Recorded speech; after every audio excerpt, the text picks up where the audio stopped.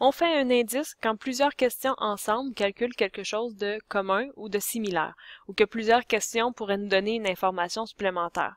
C'est le cas, par exemple, quand vous avez utilisé un test standardisé, donc qui existait déjà, qui a une façon de le coder et que l'ensemble des questions, euh, selon les réponses, calcule le score obtenu pour, par exemple, le niveau d'agressivité, l'estime de soi. Euh, bon, vous voyez un peu l'idée. C'est aussi ça qu'on va utiliser quand vous avez euh, plusieurs questions qui ensemble calculent quelque chose qui qui peut devenir une nouvelle information, comme lorsqu'on pose une question selon la mère, ensuite selon le père, et qu'on veut les mettre ensemble pour avoir selon les parents en général.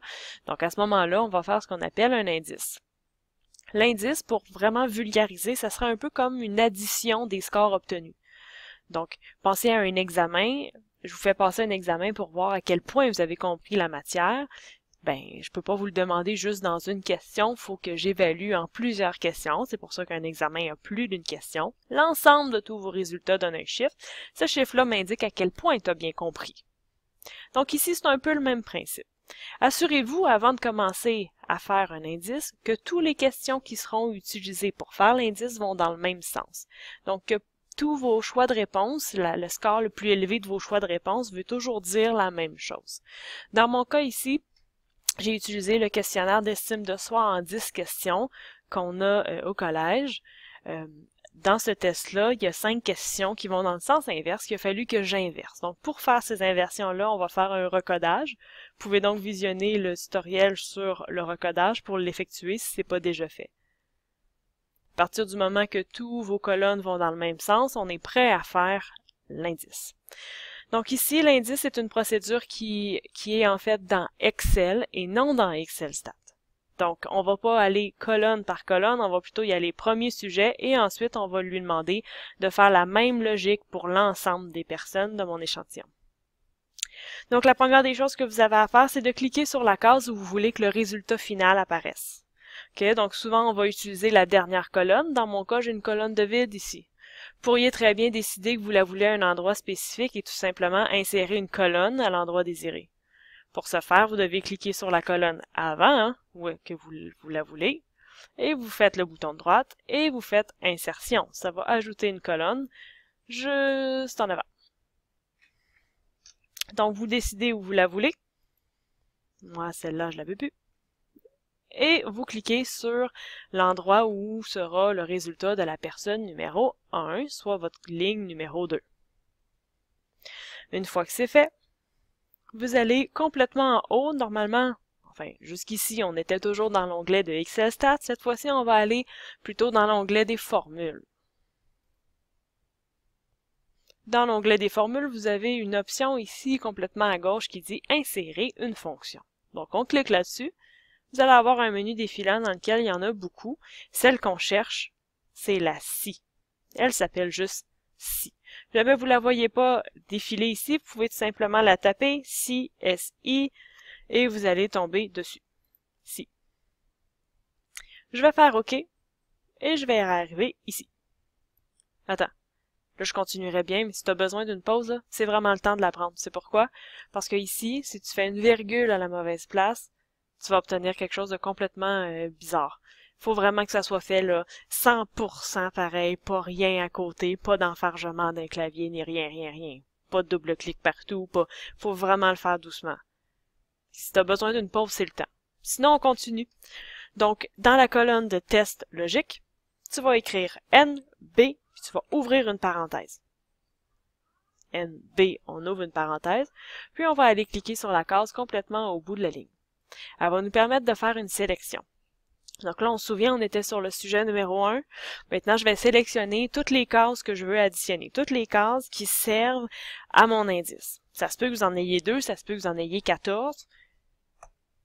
Choisissez-les, juste pour la personne numéro 1. Donc, dans mon cas, j'en avais plusieurs à sélectionner. Ça commençait par la question 8. Puis là, allez-y bien doucement. C'est préférable d'avoir un questionnaire avec vous. Ça va être plus facile. Vous allez être plus sûr de vous.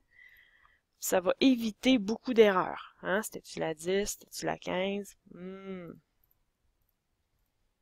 Une fois que votre sélection est terminée, vous allez faire Enter. Vous allez fermer la parenthèse à l'aide de votre clavier, puis vous allez indiquer égal.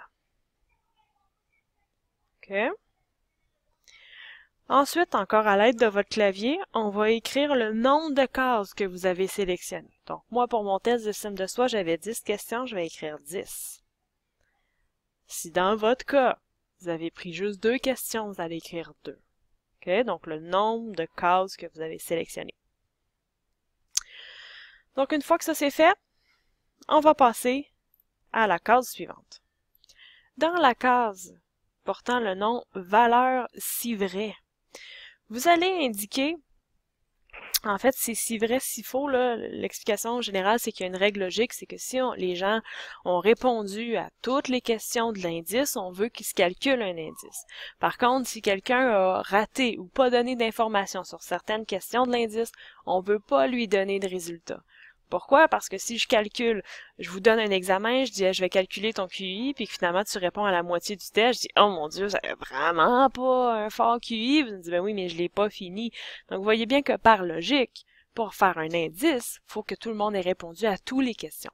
Donc, cette procédure-là, elle sert vraiment à éliminer au passage les gens qui n'ont pas tout répondu pour s'assurer que les données qu'on a portent sur des gens qui ont euh, complété l'indice.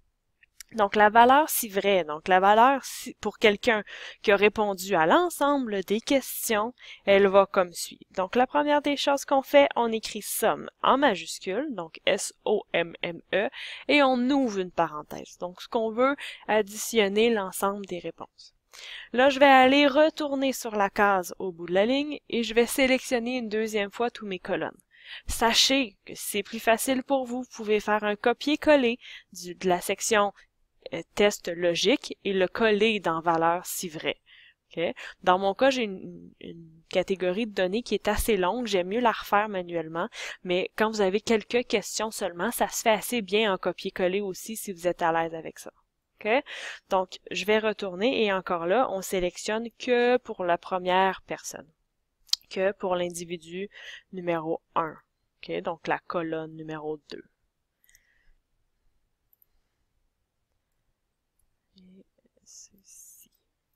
Voilà. Vous allez faire Enter pour revenir à la fenêtre de base. Puis vous allez fermer la parenthèse. Donc vous voyez dans mon cas, mon sujet numéro 1, il est vrai, donc il a répondu à toutes les questions. Son score présentement, c'est 31. Maintenant, on va inscrire la valeur s'il faut. La valeur s'il faut, si la personne n'est pas répondu à tout, qu'est-ce que je veux? Ben, je veux rien. Je veux une donnée manquante. Donc, ce qu'on va devoir rentrer là, c'est deux guillemets, et là, je précise des guillemets anglais. Ces guillemets-ci, ils sont français. Ce que je veux, c'est les deux petits points en suspension. Si vous les trouvez pas sur votre clavier, vous pouvez utiliser le code Alt. Donc, j'enfonce la, case Alt de mon clavier qui se retrouve à être la, la ligne complètement proche de vous. Troisième bouton à partir de la gauche complète. Et je fais le chiffre 34. Je lâche et j'ai un guillemet j'ai qu'à le refaire une deuxième fois et j'obtiens deux guillemets anglais. Je vais faire OK. Et j'obtiens évidemment le résultat, mais que pour la personne numéro 1. Donc tout ce qui me reste à faire maintenant pour avoir le score des autres, c'est d'étirer cette euh, information-là à tous les autres. Donc vous voyez ici, j'ai une case euh, complètement noire avec un petit carré blanc. Si j'approche mon curseur, vous allez voir que mon curseur va se transformer en croix noire. Croix blanche, croix noire, croix blanche, croix noire. Quand elle est sur la croix noire, je peux cliquer avec le bouton euh, gauche de ma souris et je vais tirer jusqu'à la fin de mes échantillons. Je lâche le bouton et il va s'être généré un ensemble de chiffres pour tout le monde. Vous avez donc fini votre indice. Il arrive toutefois que l'indice, on veuille le retravailler par la suite. On veuille faire d'autres procédures dessus et à ce moment-là, on va devoir et je vous conseille de le faire tout de suite, allez à tous les endroits où la case elle est vide. Là, vous voyez, si vous cliquez dessus, vous allez avoir toute la formule qui apparaît et je vais devoir effacer cette formule-là pour que la case reste vide et qu'au moment d'analyser, je puisse utiliser cette colonne-là sans que ça lui cause problème. Des chiffres, des chiffres, des chiffres. Oups, une case vide, on n'aime pas ça. OK? Donc, on efface l'ensemble des cases vides. Bon, moi, ça va vite, j'en avais que deux. Ça va? Donc, votre indice, il est créé. À partir de là, vous pouvez retravailler la colonne pour en faire autre chose. Donc, on peut recoder euh, ce qu'on a là présentement comme indice, ou on peut l'utiliser brut comme ça, selon vos cas.